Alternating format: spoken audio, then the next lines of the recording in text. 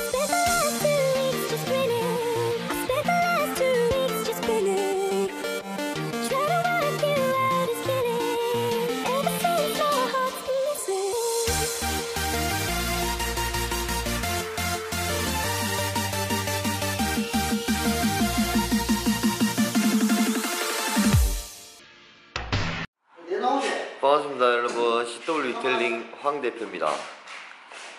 오늘도 유리막 코팅 시공 음, 그걸 올 이제 영상을 하나 만들려고 하는데 차량은 링컨 차량입니다 링컨 컨티넨탈 신형인데 음, 이 차는 신차이기 때문에 따로 광택은 하지 않고요 어, 일단 도장면을 정리하는 광택은 이제 한번 하고 그리고 바로 셀리 유리막 코팅을 도포를 하는 거를 오늘 보여드릴게요.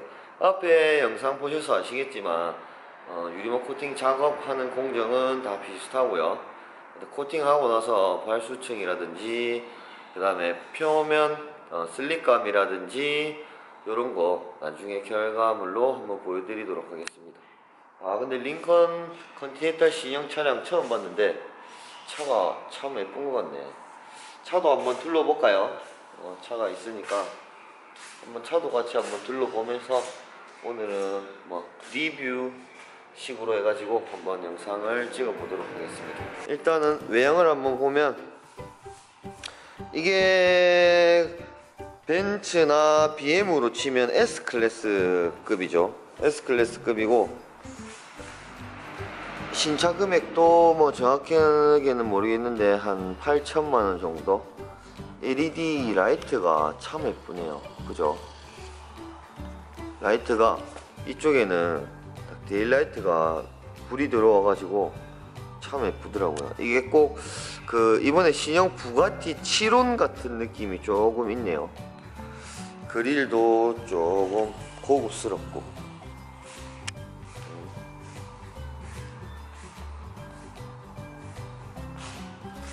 이런 곳에는 자, 컨티넨탈이라 해가지고 크롬류들이 보면 좀 많이 들어가 있네. 크롬류들이 실내도. 문 catch 같은 경우에는 이게 이제 안쪽에서 문이 열리게 돼 있고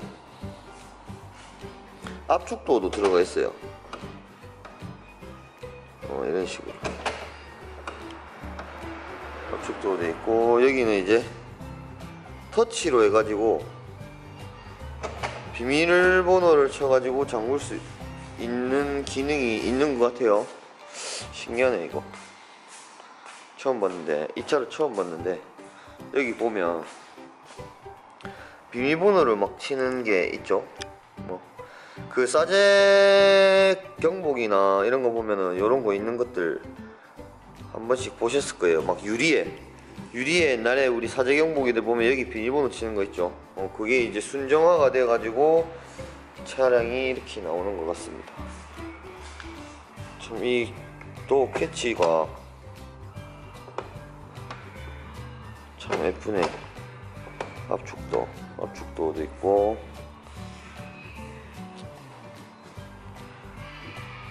야 데루등이 그 지금 우리 제네시스 이번에 나오는 신형 어 그거랑 이 데루등 라인이 조금 비슷한 것 같은데 아닌가?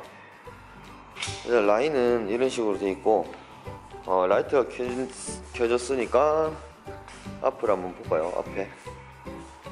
어 앞에. 어 뭐고? 앞에 불이 꺼졌네. 잠깐만요. 앞에 이런 식으로 daylight가 딱 들어오고. 참 예쁘구만 링컨 이번에 컨티넨탈 신형은 차를 좀 잘 만들었다고 생각이 들어요 엔진은 뭐 잘 모르겠고 일단 디자인 면에서는 옛날 구형 링컨들은 솔직히 디자인이 그렇게 예쁘다라고는 못 느꼈는데 지금 신형은 참 예쁘게 나온 것 같아요. 자, 실내도 그러면 한번 볼까요? 실내는 이쪽에는 이제 뭐 메모리 시트나 뭐 의자 메모리 시트나 의자 전동 의자 조절하는 게 있고 밑에는 윈도우 버튼들 이렇게 있네요. 자 그리고 이 차에 특이한 점이 하나가 있습니다. 특이한 점이 뭐냐면 여기에 문 여는 게 없어요. 문 여는 게 없어요. 이게 보시면 이게 문 여는 버튼입니다. 저 이거를 못 찾아가지고 문을 못 열어 차 안에 갇혀 있었어요. 참 신기하긴 했어요. 그리고 실내를 한번 보면 좀 어둡네. 좀 어둡네. 자 일단 실내는 이런 식으로 테두리에 크롬으로 마감 마감이 많이 되어 있어 가지고 실내가 조금 굉장히 고급스럽다 하는 느낌을 조금 받을 수 있고요. 이런 것도 다 테두리가 이런 엣지 라인들이 다 크롬으로 되어 있어요. 상당히 좀 고급스럽습니다. 젊은 사람들이 조금 안 좋아할 수도 있고 요즘에는 뭐 카본이나 뭐 이런 거를 좀 많이 선호하시는 분들이 많으니까 젊은 분들은 어, 실내를 봤을 때는 조금 클래식한 느낌이라고 해야 되나? 어, 좀 그런 느낌이 조금 들어요. 조금 들고 어, 이 계기판 테두리에도 보면 크롬 크롬이 이렇게 많이 들어가 있죠. 여기도 다 크롬입니다. 이런 식으로.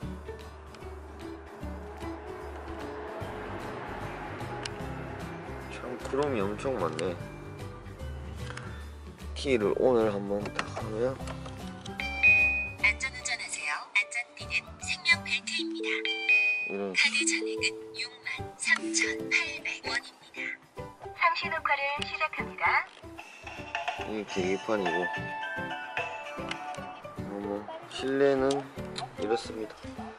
한번 링컨을 구경을 한번 해봤습니다. 자, 링컨의 짤막한 리뷰는 여기까지 하고 이제 전 처리를 하고 음, 유리막 코팅 작업을 하기 위해서 제가 전 처리를 하고 다시 오도록 하겠습니다.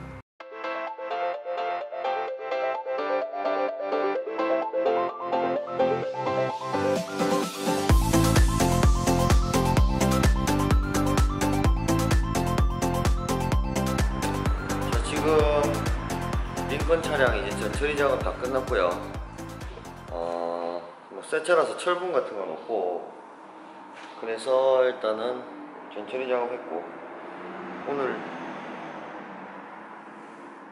일요일입니다. 일요일. 일요일도 저 열심히 일하고 있습니다. 자 유리막 코팅 하시는 분들 셀프로 하시는 분들한테 제가 한 가지 말씀드리자면 셀프로 하실 분들은 물기가 없어야 돼요 촬영면은 절대 유리막 코팅은 물에 약하기 때문에 시공할 당시에 물이 있으면 절대 안 됩니다. 그래서 에어건 가지고 물기를 꼼꼼하게 제거해 주셔야 돼요. 그리고 이 차 같은 경우는 저희 가게에서 세차를 하던 차량이라서 왁스가 지금 많이 올라가 있어요. 이 왁스가 올라가 있는 상태에서는 유리막 코팅 자체가 안 먹힙니다. 그래서 이 왁스를 탈지를 해가지고 전체 다 없애주셔야 돼요.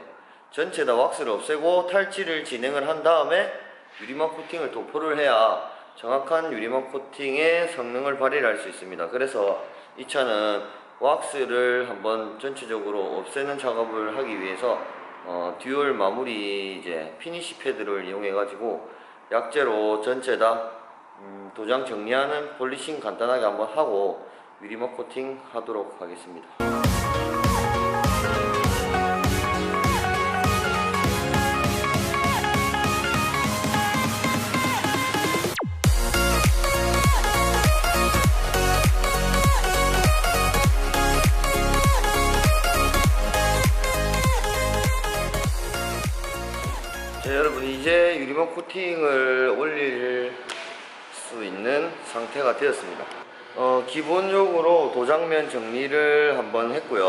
기본적인 도장면 정리 polishing 그리고 이제 좀 기스가 부분 부분이 있어서 그런 부분은 기스를 다 잡았습니다. 자, 잡고 신차 같은 경우에는 어, 신차에 하는 polishing은 microfiber 패드, 즉 엄청 부드러운 패드를 이용해 가지고 광을 올리는 목적의 polishing을 하는 겁니다. 연마력이 거의 없는 패드이기 때문에 어, 도장면에 손상을 주지 않아요. clear층도 삭감을 하지 않고요. 그래서 도장면을 전체적으로 정리를 하고 그리고 광도를 증진시키는 그런 역할을 하는 폴리싱이기 때문에 신차 뭐 도막이 손상 갈 걱정은 안 하셔도 됩니다. 그리고 신차 코팅을 하시는 분들 그냥 이런 폴리싱을 안 하고 나는 하면 안 되나요? 라고 묻으시는 분들도 있습니다. 안 하고 하셔도 돼요. 그냥 유리막 코팅만 하셔도 됩니다. 어, 전처리 작업 깨끗이 하고. 근데 이렇게 하면 아무래도 광도가 늘어나기 때문에 차량이 코팅을 했을 때 어, 광도도 안 하는 것보다는 많이 올라가고요. 그리고 아무래도 정리를 하고 하는 거기 때문에 본딩이 조금 더 잘 되는 효과를 가져갈 수가 있습니다. 그래서 신차를 저희는 들어오면 무조건 기본적으로 일단 도장면 정리하고 폴리싱이 무조건 들어갈 수 있도록 저는 고객님들에게 항상 설명드리는 편입니다. 그렇게 해야 성능을 극대화를 할 수 있기 때문에 그렇게 주로 하는 편입니다. 왜냐면 이 코팅이라는 게 솔직히 차를 깨끗하게 오랫동안 유지를 할 수 있고 그리고 도장 같은 경우에를 조금 차량 관리를 편안하게 하려고 하시는 거잖아요. 어, 근데 유양이면 조금 더 깨끗하게 해가지고 하시는 게 낫잖아요. 어, 그래서 저는 웬만하면 그렇게 추천을 드리고 있습니다. 그렇게 하시는 게 좋아요. 자, 일단 지금 이렇게 정리가 이제 다 됐어요. 뭐 육안상으로 봤을 때는 뭐 아까랑 별 차이가 없는 것 같아도 어, 카메라는 뭐 그렇게 다 담아내지를 못하는데 아까보다는 광도가 어, 많이 올라간 상태. 강도가 많이 올라간 상태고 전체적으로 이제 잔 기스나 이런 것들이 있는 것들도 싹 다 제거를 한 상태입니다. 자 이제 유리막 코팅을 빨리 진행을 해서 결과물을 한번 보여드리도록 하겠습니다. 유리막 코팅하고 다시 오겠습니다. 유리막 코팅을 하기 전에 항상 이렇게 열 처리를 하고 진행을 하고요. 자, 이 열 처리 전구를 보시면서 어, 제가 또 하나 보여드릴 게. 이게 전구가 과연 열 처리가 되는지 또 궁금하실 분들이 있으실 것 같아서 제가 한번 보여드리도록 하겠습니다. 자, 이거는 온도계입니다. 흔히 그 뭐 고깃집 가도 볼 수 있는 온도계인데, 자, 지금 여기 이쪽 도장면, 어, 이쪽 도장면 온도는 20도예요. 20도, 뭐 19도. 사람 온도가 26도 정도 되죠. 손바닥 뭐 이런데. 자, 21도. 사람 손바닥보다 도장면이 차갑게 되면 코팅이 조금 본딩이 좀 덜 되는 효과가 있기 때문에 자, 지금 열 처리하는 도장면의 온도는 자, 50도, 40도, 60도까지 올라가고요. 자, 이렇게 도장면에 열을 충분히 내주고요. 그래야 코팅을 해야 코팅도 어, 잘 펴발라지고 본딩도 잘 되고 그리고 버핑도 잘 되고 지속성도 조금 더 많이 올라갈 수 있고 어, 그런 효과가 있습니다.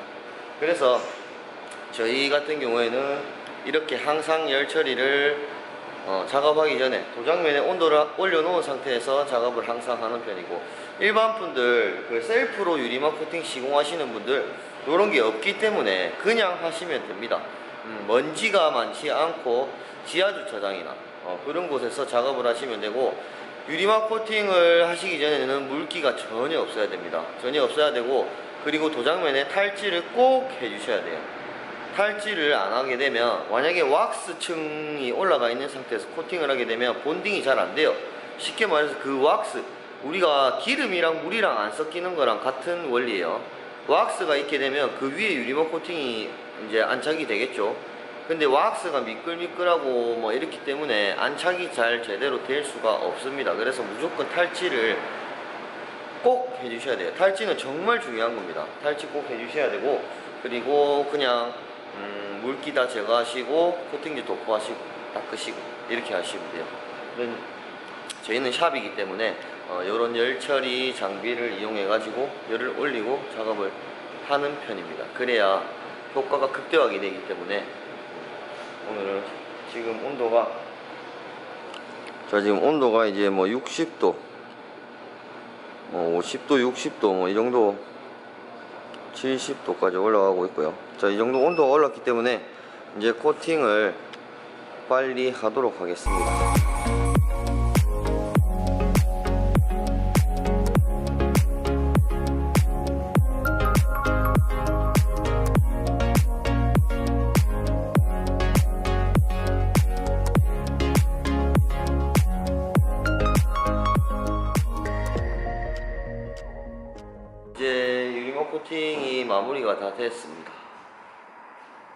반짝거리는 것 같나요? 반짝거려야 정상이겠죠. 자, 일단 오늘 차량 한번 보고 내일 발수 테스트를 하고 출고할 때 또 영상을 한번 보여드리도록 할게요. 일단 차 한번 보시죠. 자.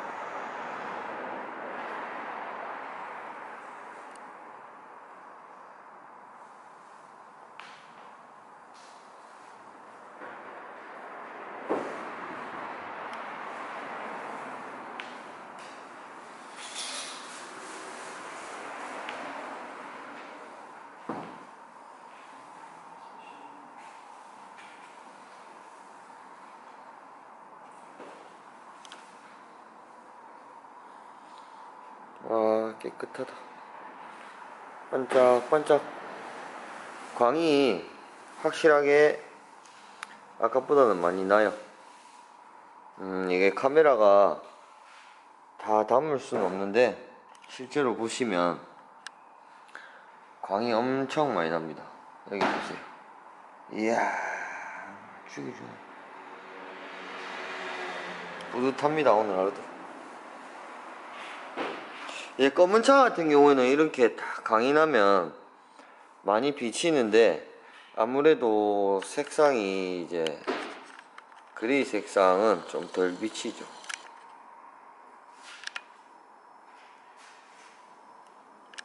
펄도 잘 안 보이네.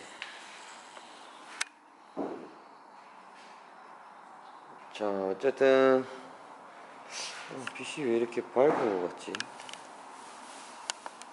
자, 어쨌든 그 링컨 컨티넨탈 이제 작업 다 됐고요.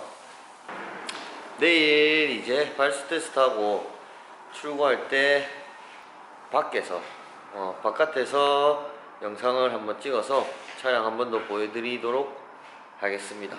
오늘도 영상 시청해 주셔서 감사드리고 저 영상 보신 분들 좋아요, 구독 하나씩 꼭 부탁드릴게요. 감사합니다.